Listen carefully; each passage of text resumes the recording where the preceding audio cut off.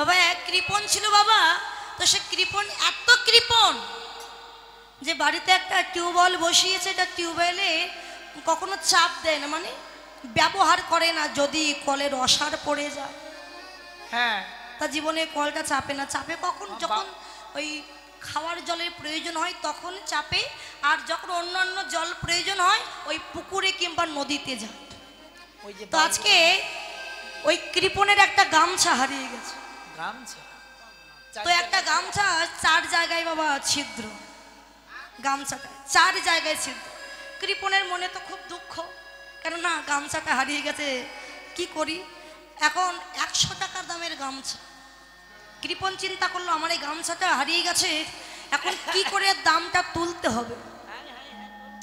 কি করে দামটা তুলবো তা বেশ মাসে মাসে আমি একবার করে চুল দাড়ি কাটি হ্যাঁ তা চুল দাড়ি কাটতে ওই বিশ থেকে পঁচিশ টাকা খরচ হয় তা লাগে তা আমি যদি চার মাস চুল দাড়ি না কাটি তাহলে কত টাকা বেঁচে গেল কত বেঁচে গেল মা আটশো কুড়ি টাকা বেঁচে গেল মাসে মাসে যদি পঁচিশ টাকা করে হয় তাহলে চার মাসে কত হলো একশো টাকা চিন্তা করলো তাহলে আমার চার মাসে যদি চুল দাড়ি না কাটি আমার দাম উঠে যাবে তো চার মাস চুল দাড়ি কাটেন এখন চুল দাড়ি না কাটলে বাবা একটু লম্বা তো হবে আরে এর মতো এর ছোট হয়ে গেছে এখন এই পর্যন্ত চুল দাড়ি হয়েছে আজকে ওই কৃপন গেছে নদীতে স্নান করতে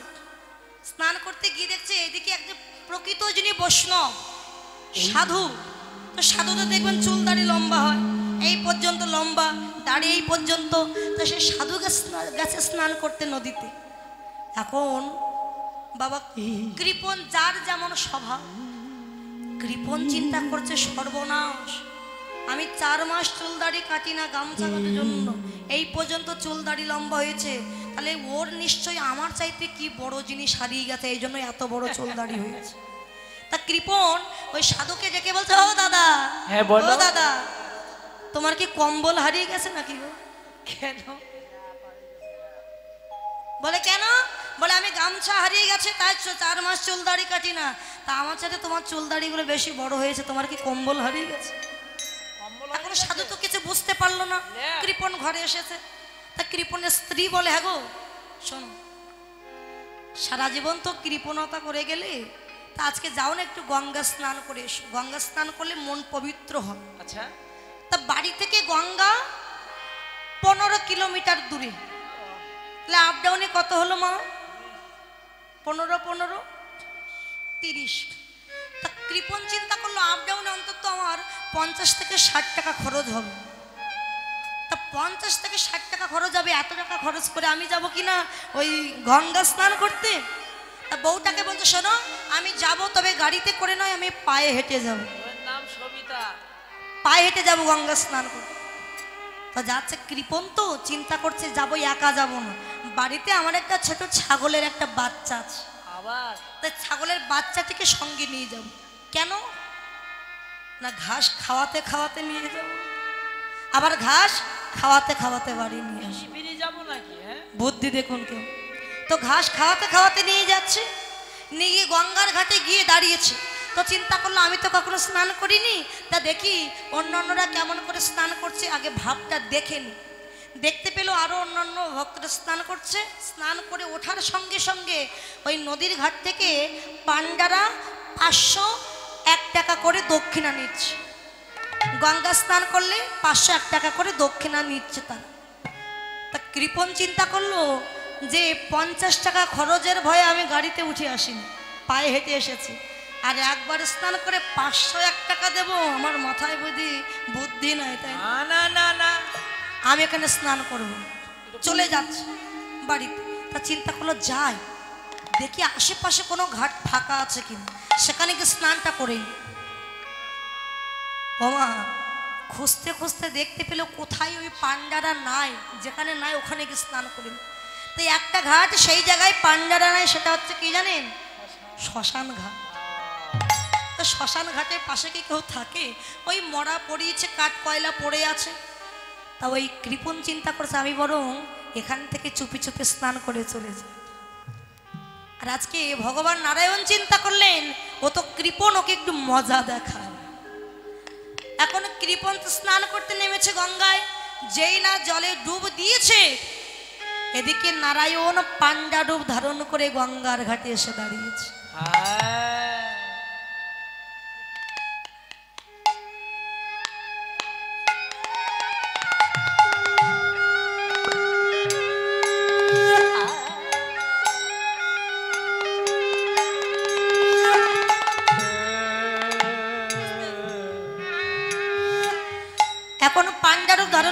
দাঁড়িয়েছে তো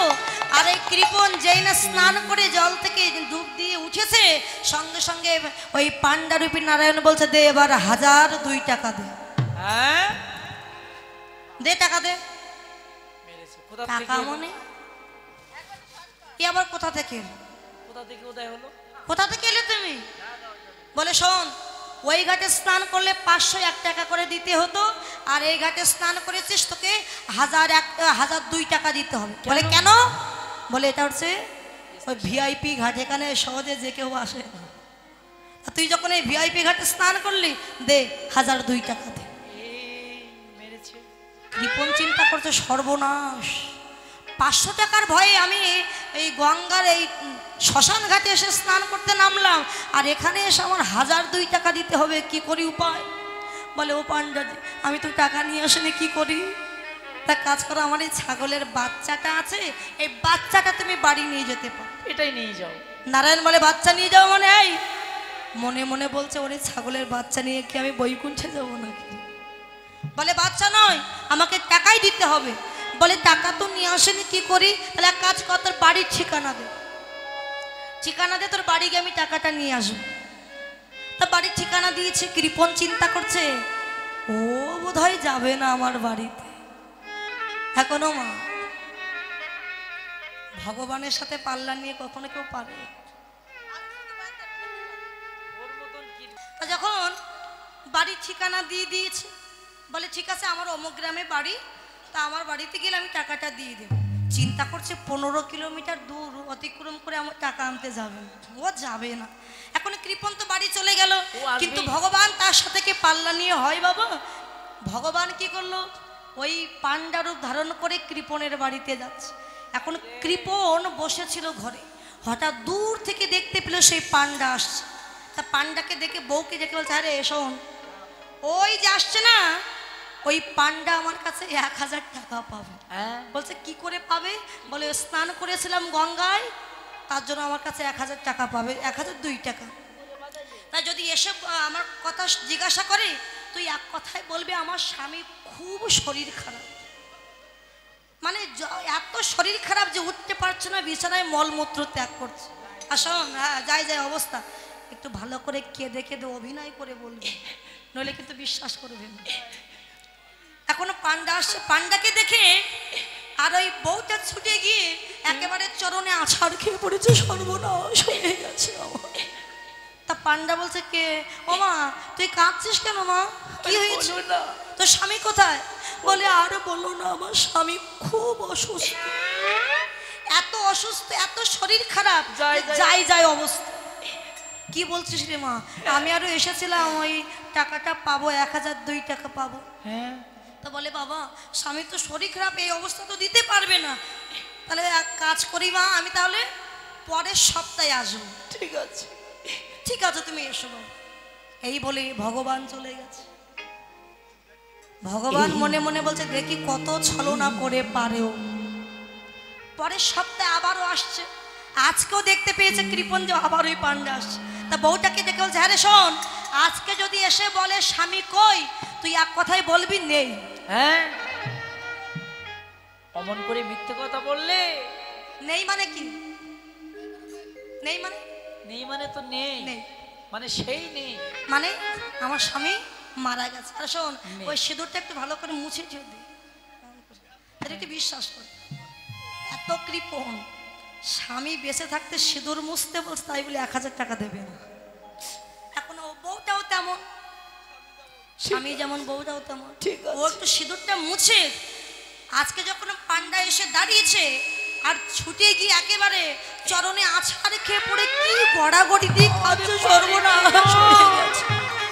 তা পান্ডা বলছে কিরে মা কাঁদছিস কেন কি হয়েছে আমি টাকা নিতে এসেছে তোর স্বামী কোথা আর বলো না বাবা আমার স্বামী নেই নেই মানে একদম বলে নেই মানে কি আমার স্বামী মারা গেছে দেখতে পাচ্ছ না কি সর্বনাশ স্বামী মরে গেছে তা কখন মরলো বলে এই যে দশ মিনিট আগে মারা গেল তা নারায়ণ চিন্তা করছে দাঁড়া ওকে একটু পরীক্ষা করি ও তো মিথ্যা বলছে তা নারায়ণ অনেক ভেবে চিনতে বললো আচ্ছা দেখ মা তোর স্বামীটা যখন মরে গেছে তুই তো অসহায় হয়ে গেলি তোর তো কেউ নাই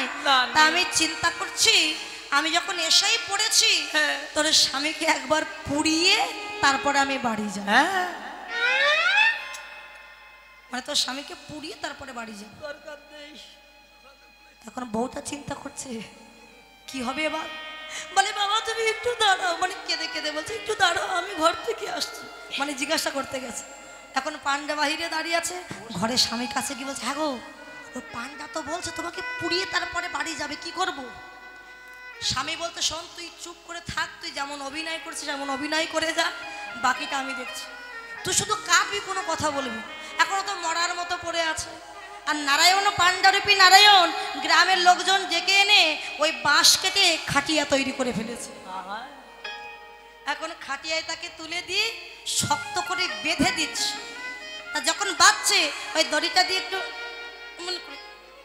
দেখি কথা বলে কিনা চাপ দিচ্ছে তবু কথা বলছে না মরার মতো পড়ে শ্মশান ঘাটি নিয়ে গেল তাও মরার মতো পড়ে আছে কোনো কথাবার্তা চিতা সাজালো তাও কোনো কথা নেই তখন চিতার উপরে তুলে দিয়েছে দেখি কথা বলে কিনা তাও বলছে তখন নারায়ণ চিন্তা করছে এ তো কোনো কথা বলবে না কথা আমাকে বলাতে হবে যে করে এখন গ্রামের লোকজনকে বলছে হ্যাঁ যে শোনো ও তো মরে গেছে তা তোমরা একটু ওই সাইডে গিয়ে দাঁড়াও আমি শেষবারের মতো কানে একটু কৃষ্ণ নামটি শোনাই দিই হরি বল হরি বল গ্রামের লোকজন এক সাইডে চলে গেল আর পাণ্ডরূপী নারায়ণ গিয়ে কানের কাছে গিয়ে মানে ওই কৃপণের কানের কাছে গিয়ে বলছে এই তোর কি ব্যাপার রে তুই কি চাস পাণ্ডা তো ওই কৃপণ তখন এক চোখ তাকিয়ে বলছে জি তুমি আমার এক হাজার টাকা ছেড়ে দাও আমি এক্ষুনি উঠে বসছি দেখেছি চিতাই পর্যন্ত উঠে গেল এক হাজার টাকা দেব ভগবান বললো তোর টাকা আমি ছেড়ে দিলাম তুই উঠে বস আমার টাকার দরকার এত জীবন তাই এমন করে ভগবানের নামে কৃপণতা করলে হবে না হাত তুলতে হবে হয়তো অনেকে বলছে যে ওরা তুলছে ওতেই হবে আমার দরকার নেই যার কাজ তাকেই করতে হবে হাত তুলতে হবে তাই গোর হরি বল হরি বল হরি বল ভক্তাদিন ভগবান শ্রীকৃষ্ণ ওই করের বাসিটি নিয়েছেন কর আশিকি করেনি আজকে যমুনার কুলে গিয়ে দেখতে পেলেন আকাশে শরৎকালীন পূর্ণিমার পূর্ণ চাঁদের উদয় হয়েছে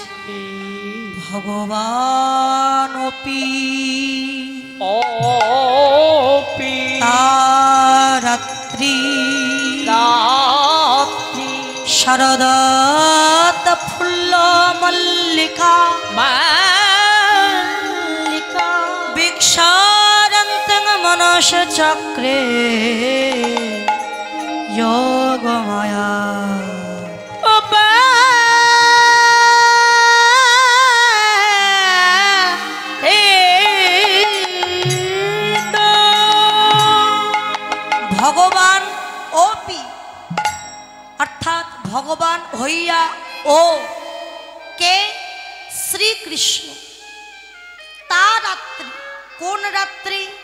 ওই যে গোপীদের কাছে প্রতিজ্ঞাবদ্ধ হয়েছে গোপীগণ এক মাস হব্বিষণ্য সেবা করে মা কাত্যায়নী দেবের ব্রত উদযাপন করেছে হে মা কাত্যায়নী হে মা নদেশ্বরী তুমি আমাদের এই বর দাও নন্দের নন্দন শ্রীকৃষ্ণকে আমরা যেন পতিরূপে লাভ করতে পারি তথাস্ত মনোবাসনা পূর্ণ হবে রাস রজনীতি যত গোপী তত কৃষ্ণ সেদিন তোমরা কৃষ্ণকে প্রতিরূপে লাভ করতে পারবে সেই গোপীদের কথা মনে পড়ে যে শরৎকালীন ফুল্ল মল্লিকা মালতী যুথি কুসুম দর্শন করে মনে পড়ে গেল সেই ভক্তির কথা কিবা শরদ চন্দ্র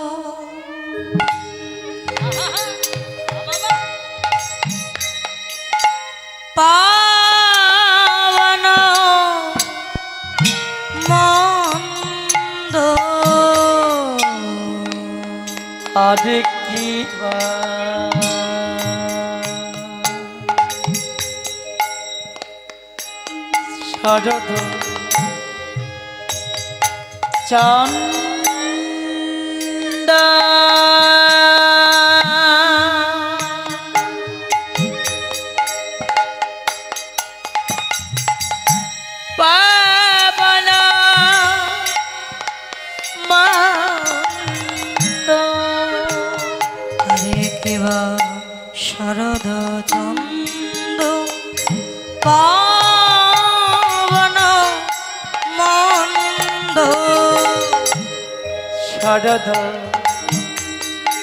চান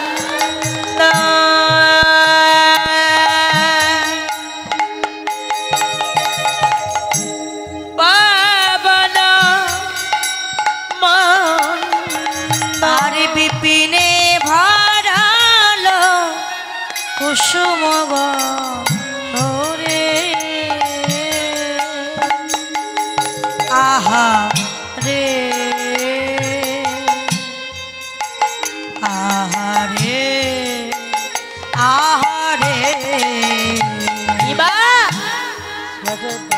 চন্দা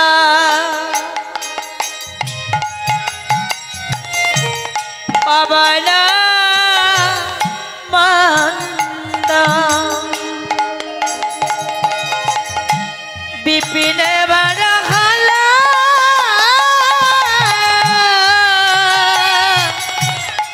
কুসুম গন্ধরে আঘা হে আঘা অঙ্গনে আর ফুল্ল মল্লিকা মালতী জ্যোতি বা ফুল মল্লিকা মালতী জ্যোতি আর ফুল্ল মল্লিকা মালতী জ্যোতি কিবা ফুল মল্লিকা মালতী জ্যোতি আহা মর্ত হরিবা আহা মর্ত কিবা মর্ত মধুকর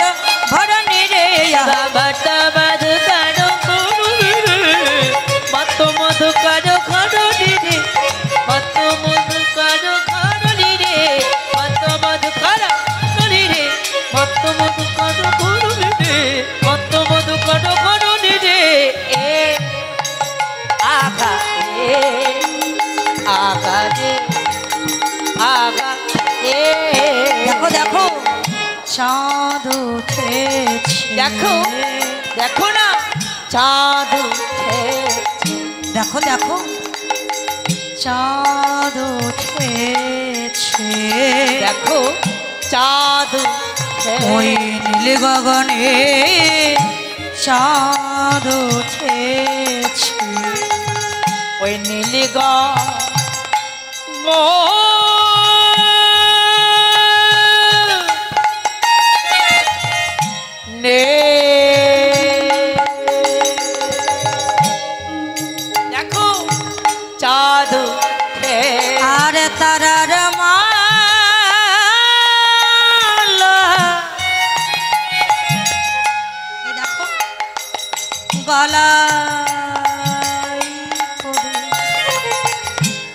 গগনে চাঁদ উঠেছে ওই তারার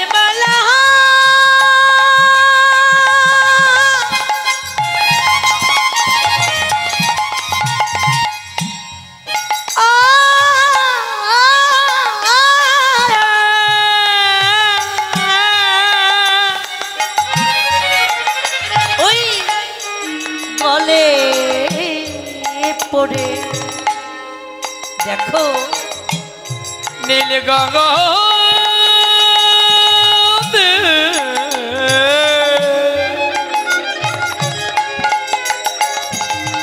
চাঁদু খেছে পবন মৃদমন্দ দেখো বহি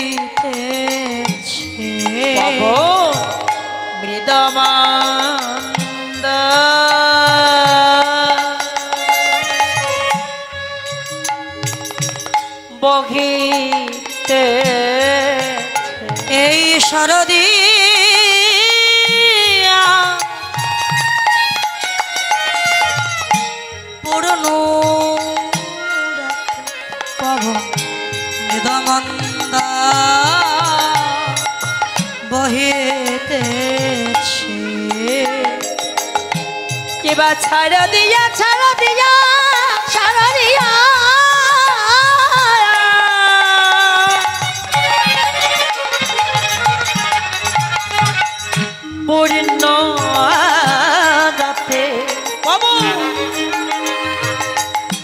তোমার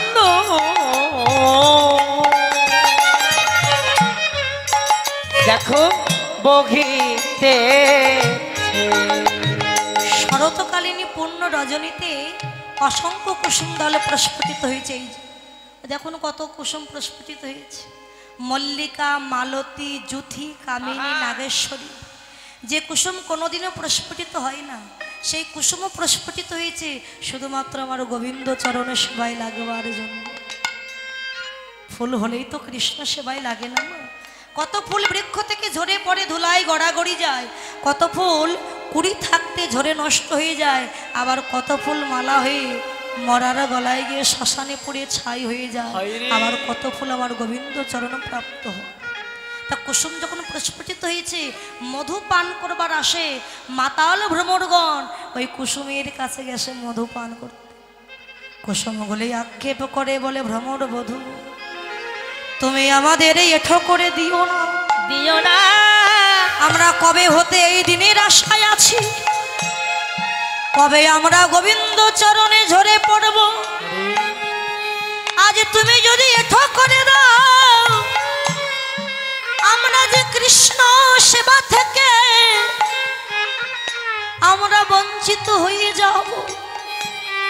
কুসুমের ভাব দর্শন করে ভ্রমরগণ মধুপান না করে ওই কুসুমের পাশে কি করেছে যেন ভ্রমর গুণ গুণ গুণ গুণ স্বরে গান করেছে ভ্রমর গুণ গুণ রে গান করে গমন গুন গুন গুন গুন সরে গান করি গনে গনে গনে সরে গান করে ওই না ফুলের মধ পাইবার আসে গুন গুন গুন সরে গান করিছে ওই ফুলের মধু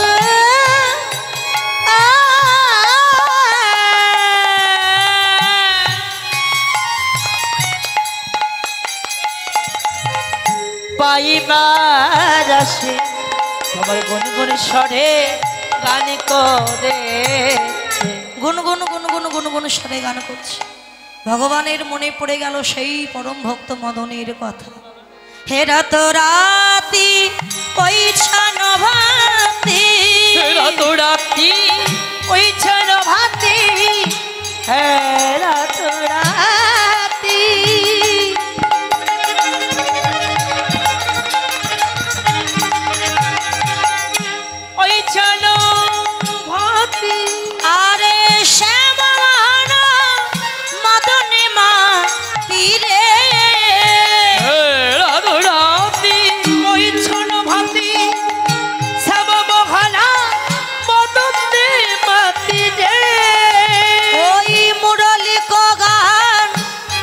পঞ্চমতা মুরলিক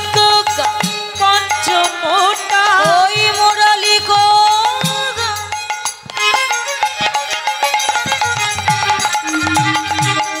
মুরলিক গান পঞ্চমতা মুরলিক পঞ্চমতা কুলবতী চিত চরণী রে কুলবতী চিত চরণী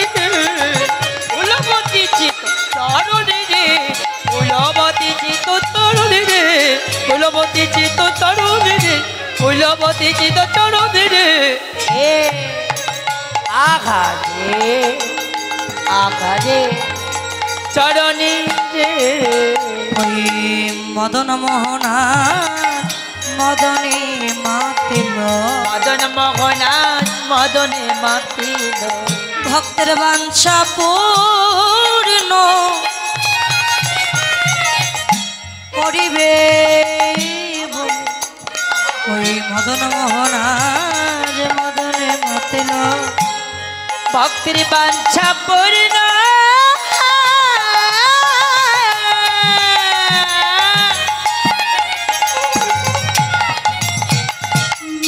করিবে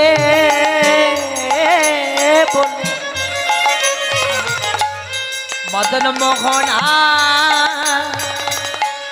মদনে মাকে মদনের মনে বড় অহংকার ছিল যে আমি ত্রিভুবন বিজয়ী বীর আমার মতো বীর জগতে আর কেউ আমি মদন আমার পঞ্চবান আছে কি কি মদন মাদন মোহন শোষণ স্তম্ভ প্রথমবার নিক্ষেপ করেছিলাম দেবরাজ ইন্দ্রের উপর ইন্দ্র আমারই বাণে জর্জরিত হয়ে তার গুরু পত্নী অহল্লা সতীত্ব হরণ করেছে দ্বিতীয়বার নিক্ষেপ করেছিলাম চতুরানন ব্রহ্মার উপরে ব্রহ্মা আমারই বাণে জর্জরিত হয়ে নিজের কন্যা সন্ধ্যাদেবী রূপে আকৃষ্ট হয়েছে তৃতীয়বার নিক্ষেপ করেছিলাম চন্দ্রদেবের উপর চন্দ্রদেব আমারই বাণে জর্জরিত হয়ে তারই গুরুপত্নী তারা দেবী রূপে আকৃষ্ট হয়েছে চতুর্থবার নিক্ষেপ করেছিলাম ভোলা মহেশ্বরের উপরে ভোলানাথও আমার বাণে জর্জরিত হয়েছিল সমুদ্র মন্থনের কারণে গোবিন্দ মোহিনী রূপ ধারণ করেছিলেন সেই মোহিনী রূপে আকৃষ্ট হয়েছে একটি বান অবশিষ্ট আছে একটি বান দিয়ে তোমায় পরীক্ষা করব কৃষ্ণ দেখি তুমি কেমন ভগবান ভগবান বললেন মদ তোর মনোবাসনা আমি পূর্ণ করব তবে আসব কবে জানিস সেই শরৎকালের পূর্ণিমাতে শরৎকালে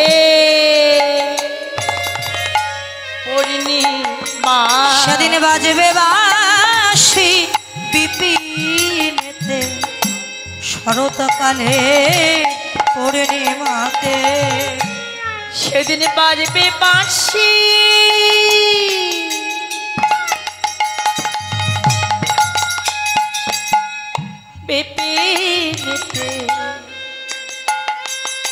সে শরৎকালে এই সেই শরৎকালীন রজনী এই রজনীতে মদনের অহংকার চূর্ণ করে আমার গোবিন্দের মনে পড়ে গেল বাকি ওই গোপীগণের কথা তাই গোপীদের মন চুরি করবার জন্য বাসির ধ্বনি করলেন গোবিন্দ সনত গোপী প্রেমহীরূপী সনত গাপী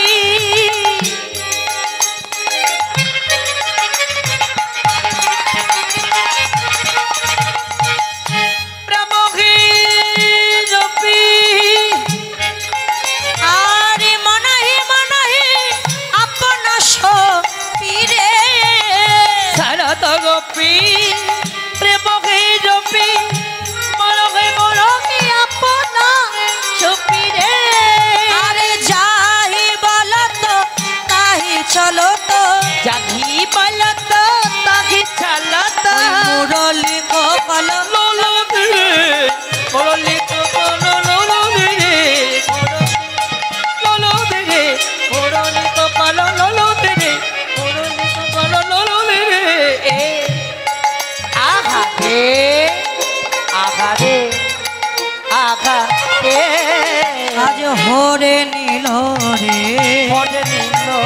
গোপীর মন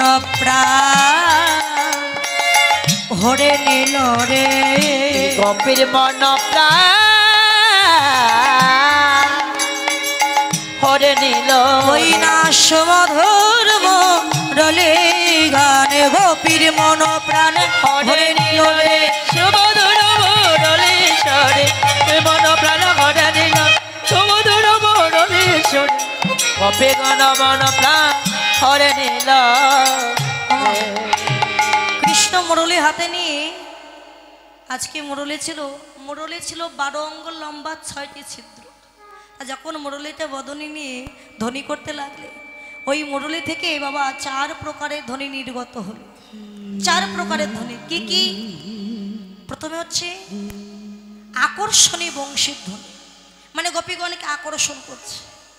তারপরে কি সম্মোহিনী বংশীধ্বনি তারপরে আনন্দিনী বংশীধ্বনি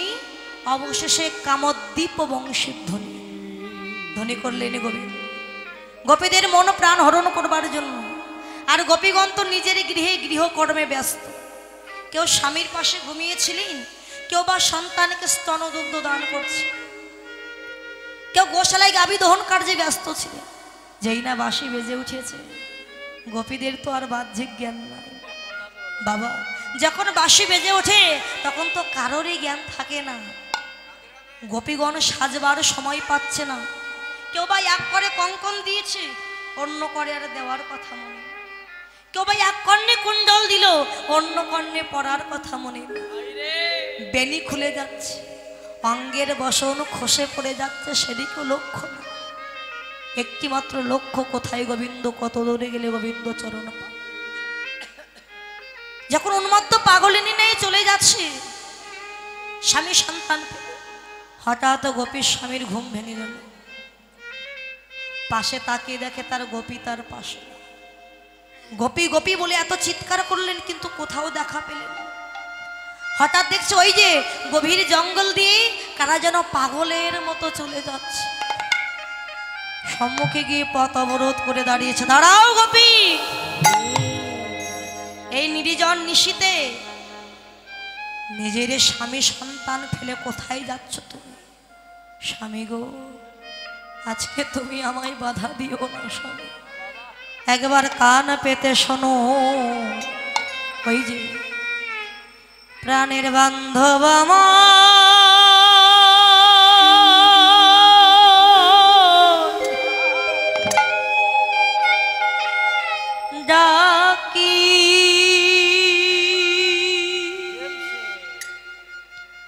ও ডাকি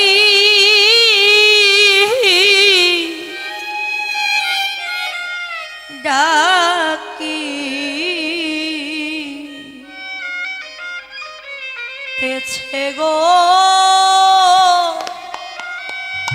ও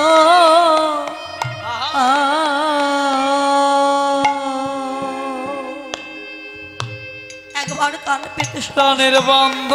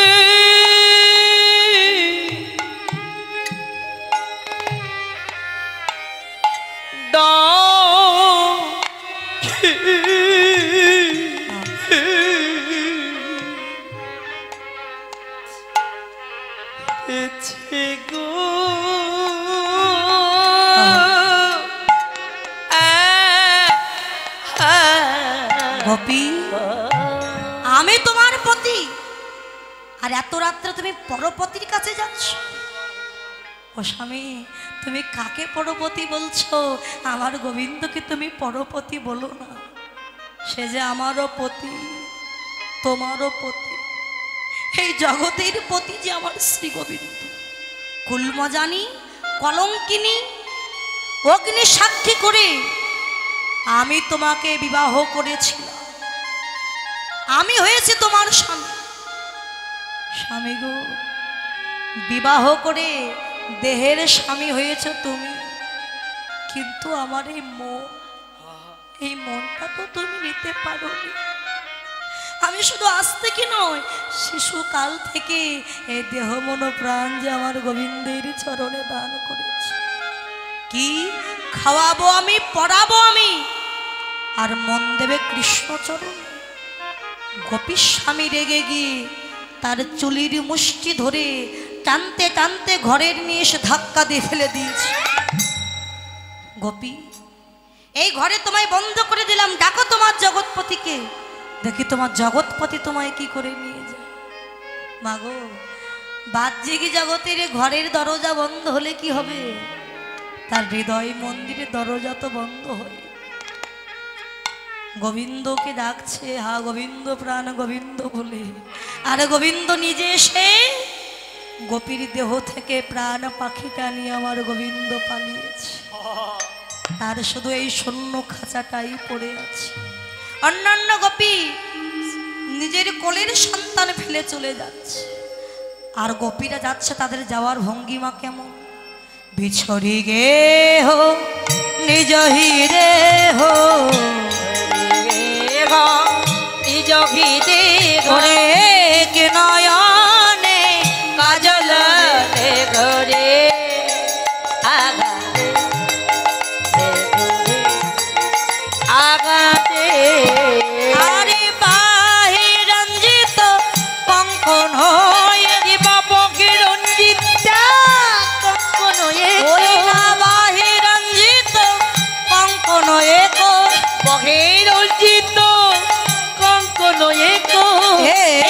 কুণ্ডল দোলো এক কুণ্ডল দোলো এক কুণ্ডল দোলো এক কুণ্ডল দোলো এক কুণ্ডল দোলো বেড়ে এ আঘা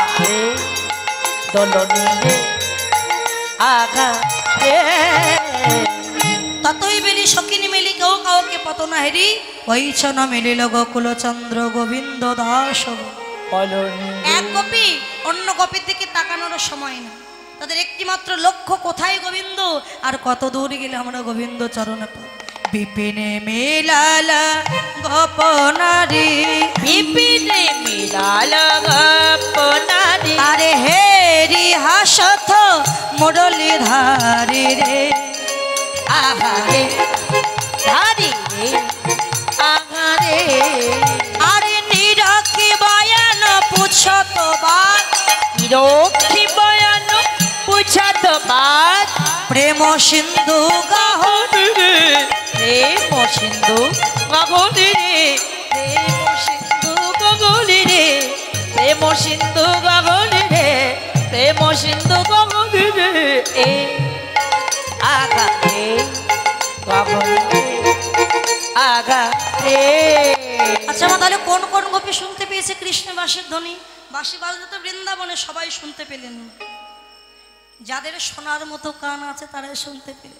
নিত্য সিদ্ধা সাধনী সিদ্ধা দেবী চরি ঋষি চরি বাম্বাবতী নায়িকা শ্রুতি চরি আর কৃপা সিদ্ধা এই গোপীগণ যখন যাচ্ছেন গিয়ে দেখলেন গোবিন্দ দাঁড়িয়ে আছেন বাঁশের ধ্বনি করছে আর গোপীগণ গিয়ে ষষ্ঠাঙ্গে গোবিন্দকে প্রণাম করেছে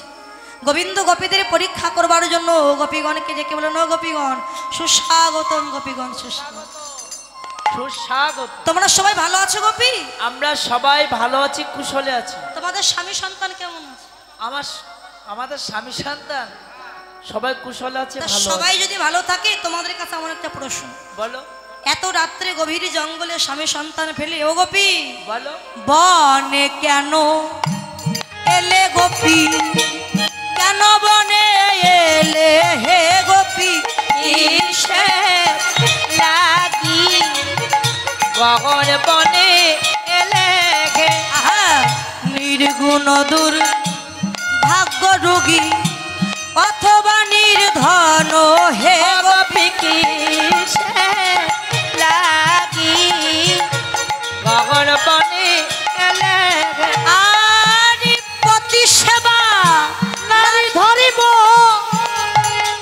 সেবা নারী ধর্ম বলে সরি বোঝ ওই গোপী বালি সারি বোঝ ও গোপী বালি সারি বোঝ গোপী লাগি কখন মনে এলে ও বুঝেছি এই যে যারা এসেছে না এই সবাই বুঝি রাত্রেবেলা স্বামীর সাথে ঝগড়া করেছে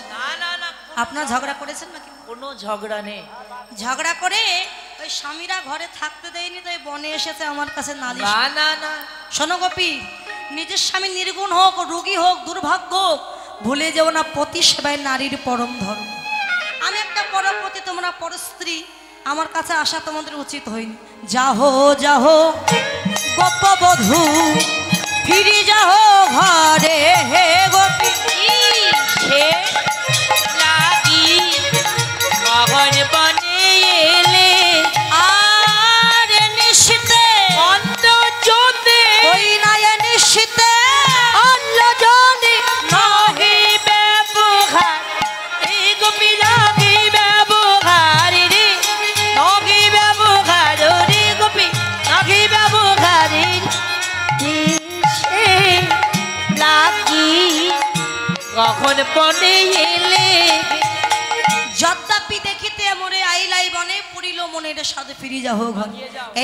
কথাগুলো শুনে গোপীগণ নীরবে দাঁড়িয়ে শুধু বাবাই নখ দিয়ে মাটি খনন করছে হ্যাঁ।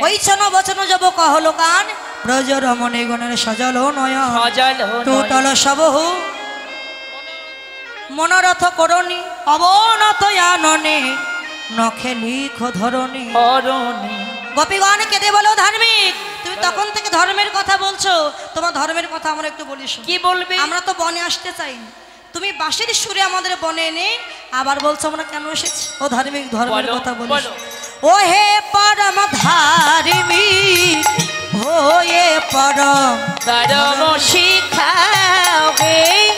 ওগে পরম ধার্মিক হয়ে ধর্ম শিখাও আহা বাসিতে লিয়া মধু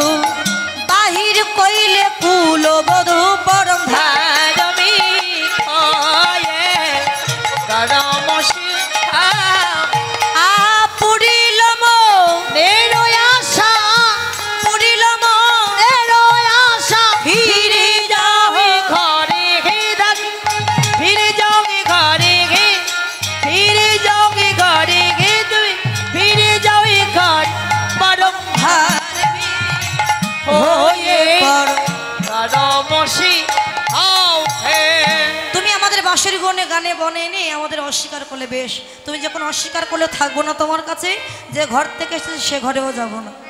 এসে দেখতে পেলো যে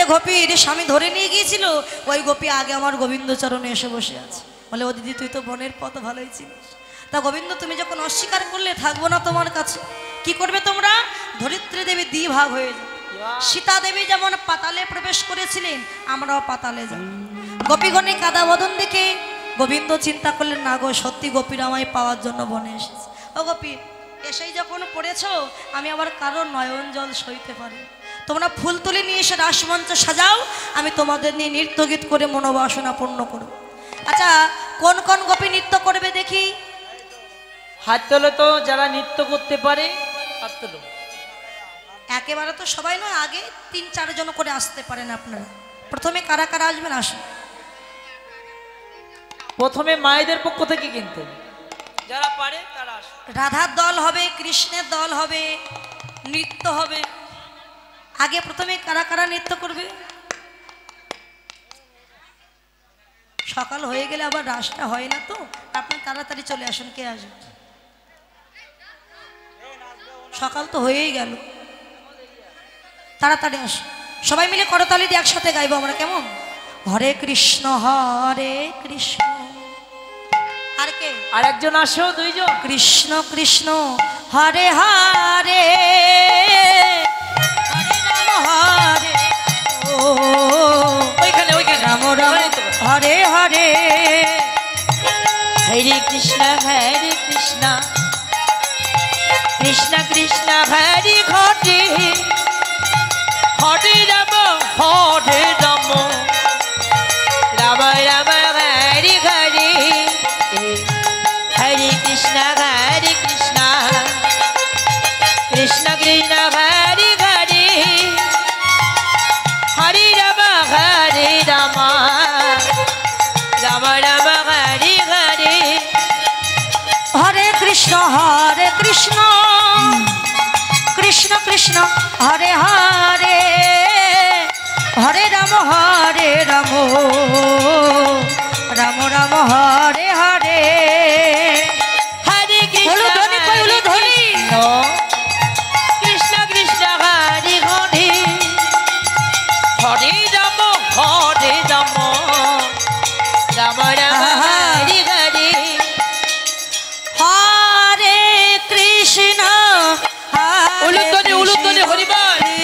কৃষ্ণ হরে রাম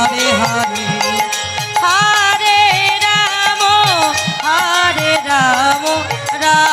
রাম হরে হরে হরে কৃষ্ণ হরে কৃষ্ণ কৃষ্ণ হরে হরে হরে রাম হরে রাম রাম রাম হরে হরে কৃষ্ণ হরে কৃষ্ণ কৃষ্ণ কৃষ্ণ হরে হরে হরে রাম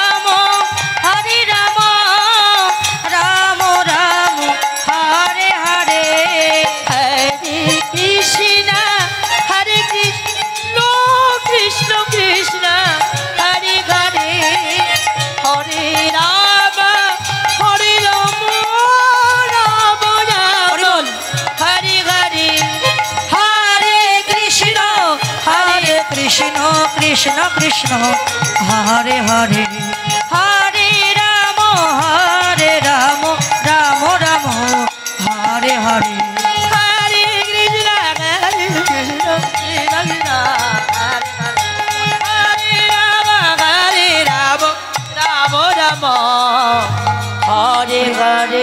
আগে আপনারা নৃত্য করুন আমি আপনাদের সাথে নৃত্য করলে গাওয়ার মানুষ হবে না আগে আপনারা নৃত্য করুন পরে আমি নৃত্য করছি কেমন আমার কৃষ্ণ আসবে সে কৃষ্ণ নৃত্য করবে এখন রাসমঞ্চ সাজিয়ে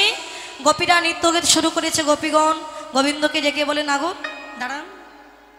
ও নাগর হ্যাঁ। নাচো দেখি ও নাগর তেরে তেরে হেরাই রায় ভায়া নাগর তে তে তে হেরাই রায় ভায়া নাগর তেরে রায় রায় বায়া নাগরে তেরে তেরে হেরোই রায় বায়া হেরোই রায় বায়া হেরোই রায় বায়া হেরোই রায় বায়া হেরোই রায় বায়া নাগরে তেরে তেরে হেরোই রায় বায়া তেরে তেরে হেরোই রায় বায়া আরে যুথে যুদ্ধে গোপী লইয়া যশোদানন্দ আরে যুথে যুদ্ধে গোপী লইয়া যশোদানন্দ আরে যুথে যুদ্ধে গোপী লইয়া যশোদানন্দ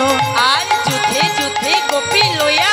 যশোদানন্দ আরে বৃন্দাবনে রাসলীলা কৈলয়া রম্ভন বৃন্দাবনে রাজলীলা কৈলয়া রম্ভন পরে বৃন্দাবনে রাসলীলা কৈলয়া রম্ভন নাগরিকে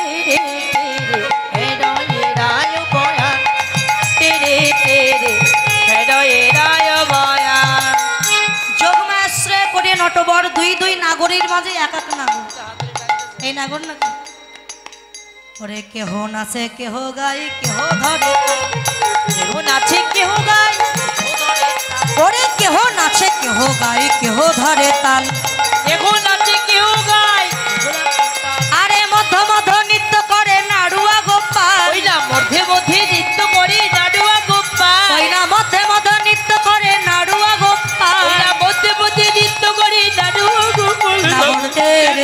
তেরে হৃদয়ে রায় উপয়া সাগর তেরে তেরে হৃদয়ে রায় উপয়া গোপীরা বললে এমন করে নৃত্য করলে বোঝা যাবে না কে ভালো নৃত্য করছে কি খারাপ নৃত্য করছে কি করে নৃত্য এই করব একজন করে নৃত্য করতে হবে একজন দুটো দল একটা রাধার দল একটা কৃষ্ণের দল দুটো দল হ্যাঁ আচ্ছা মায়েরা আপনারা কার দলে গো মায়েরা শ্যামের দলে তাহলে আর বাবারা কৃষ্ণের দল এই দুটো দল মায়েরা শ্যামের দলে বাবারা কৃষ্ণের দলে এই তো দুইটা দল মায়েরা রাধার দলে বাবারা স্বামীর দল ও আলাদা আলাদা তো যে যার দলে তার জয় দেবেন নাকি কার জয়টা বেশি হয় কেমন বাবারা দলে দেবেন না মায়েদের গলায় আগে মায়েরা দেখি কতটা ভোল্টেজ রাধা রানী কি বাবারা দেবেন না হয়নি আরেকটু জোরে রাধা রানী কি রাধা রানী কি সেবা হয়নি মা যেটা আমি দেখছি মায়েরা যেটা দিয়েছে ওটা এইট ভোল্ট আর আমি যেটা বাবাদেরকে নিয়ে দেব সাড়ে এগারো হাজার ভোট সেই রকম জোরে ধনী হবে কিন্তু বাবারা রেডি তো বাবারা হারা যাবে না কিন্তু মায়েদের কাছে সবাই জোরে একত্রিশ হাজার কোথায় হলো না রাধারানী কি এক গ্রাম করে বাড়ছে এক গ্রাম রাধারানী আর এই রাধা রানী কি মালদার তো নিয়েছো ভাড়া করে হেরে যাচ্ছ তাই রাধা রানী কি হয়নি বাবারা রেডি সব সুন্দর কি বান্ন হাজার আচ্ছা শোনো রাধা জয় যেহেতু কমেছে আমরা জিতে গেছি আগে রায়ধনী নৃত্য করবে পরে শ্যাম নৃত্য করবে তো রাধা নৃত্য করে জিতে গেলে কি দেবে শ্যাম এই যে তাই তাই দেব তাই তাই তাই তাই নয় শ্যামের চূড়াবাসী দিতে হবে আচ্ছা শ্যামের পক্ষ থেকে কে নৃত্য করবে সে একটু আসলে আসবে শ্যামের পক্ষ থেকে কে আমাদের করবে বাবা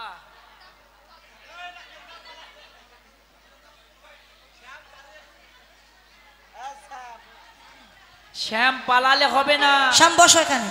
আগে রায় নৃত্য করে পরে শ্যাম নৃত্য করবে কেমন আমাদের শ্যাম হলো মথুরার থেকে নিয়ে এসছে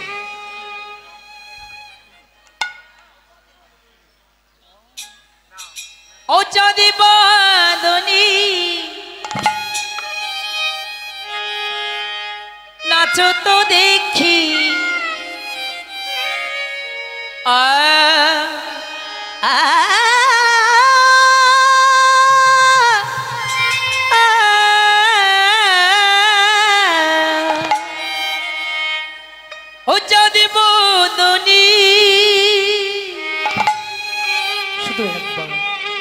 আছো তো দেখি তা তা থিয়া থি জিরে গিটে নামে জিরে ঝা তা তা থিয়া থি জিরে গিটে নামে জিরে ঝা তা তা থিয়া থি জিরে গিটে নামে জিরে ঝা বাজে জিরে গিটে নামে জিরে ঝা বাজে জিরে গিটে নামে জিরে ঝা বাজে জিরে গিটে জিরে গিটে জিরে গিটে জিরে গিটে নামে জিরে ঝা বাজে ও তাক্তা বাজে ওই তাক্তা রাধে মৃদাঙ্গ বাজে ও তাক্তা বাজে ওই তাক্তা মধুর মৃদাঙ্গ বাজে ও তাক্তা বাজে ওই তাক্তা মধুর মৃদাঙ্গ বাজে ও তাক্তা বাজে ওই তাক্তা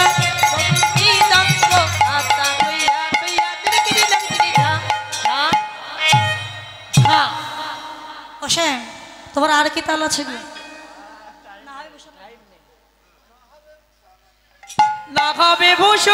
জননী না নড়িবে চিন না হবে ভূষণের ধ্বনি না নড়িবে চিন না হবে ভূষণের ধ্বনি না নড়িবে চিন না হবে ভূষণের ধ্বনি না নড়িবে চিন দ্রুতগতি দ্রুতগতি চরণ দ্রুতগতি চরণী না বাজিবে বুঝি দ্রুতগতি চরণী না বাজিবে বুঝি থইয়া থইয়া হ্যাঁ? হ্যাঁ? হ্যাঁ?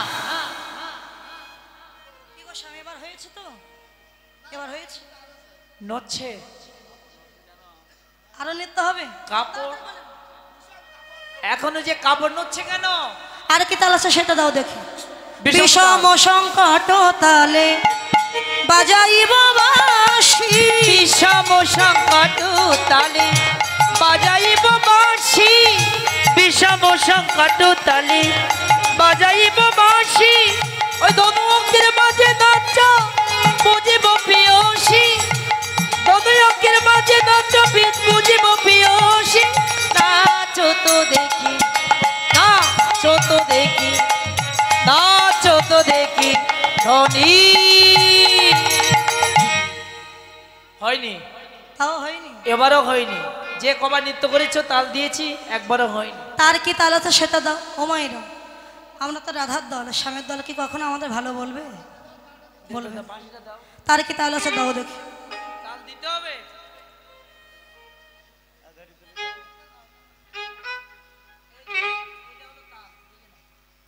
ওটা কি তাল হরতাল নাকি ভাদ্র মাসের তাল তাহলে কিসের তাল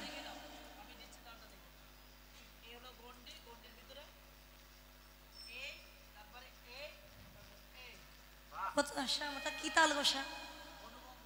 ধনু অঙ্ক তাল আচ্ছা ধনুক আমি দেখেছি কেউ ধনুক কার কাছে থাকে গো আমি দেখেছিলাম সীতার কাছে ছিল সীতার কাছে ধনুক থাকে কার কাছে ছিল রামের হাতে ধনুক যেমন বাঁকা শ্যাম বাঁকা সমেত তালও বাঁকা বলি বাঁকা তালে কি নৃত্য করা যায় নাকি যায় যায় যাই নৃত্য জানলে সব স্থানে নৃত্য করা যায় আচ্ছা বেশ তুমি যে তাল দিচ্ছ আমি নৃত্য করবো মনে রেখো তোমাকেও নাচতে হবে সময় যে সঙ্গে সঙ্গে না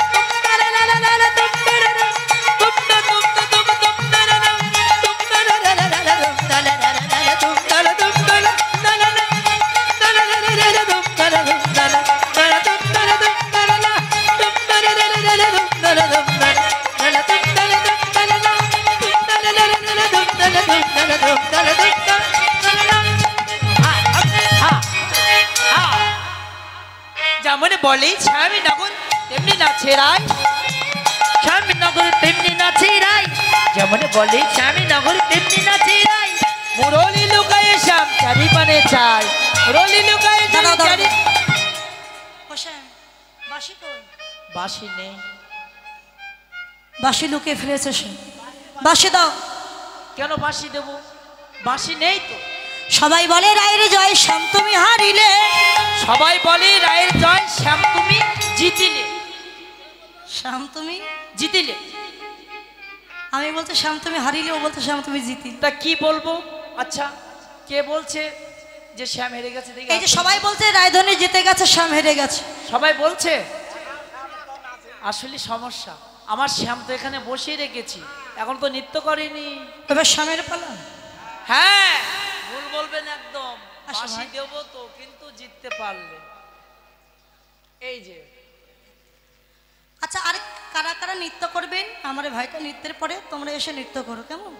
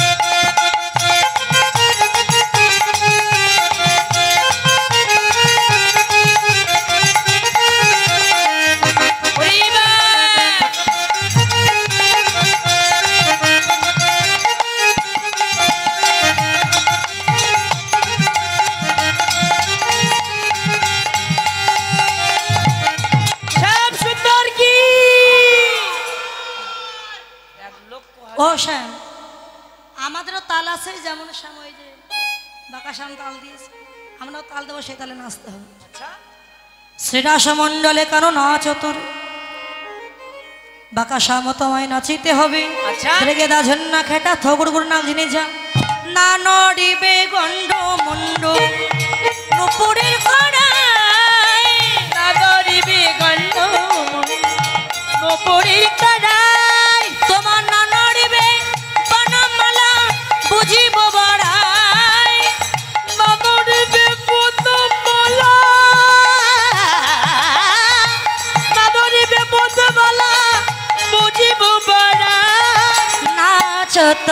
He Kiyosha.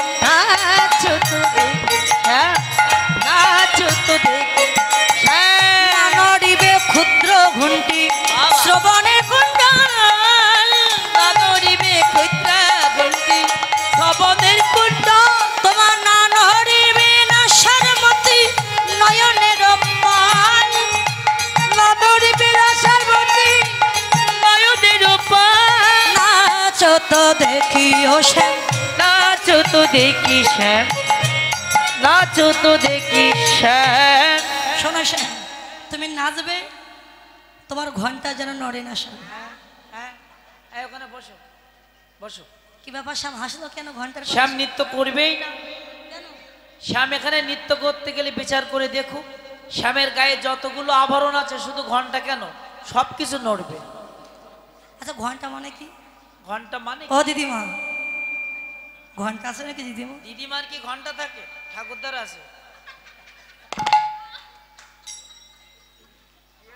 আপনারাই ঘন্টা ভেবে হাসাহাসি করবেন ও যে কোনো ঘন্টা না আমাদের শ্যাম ছেলেবেলা খুব ভালো ছিল যার তার ঘরে ওই ননি খিরি সব চুরি করে খেতে যেটা সবাই জানে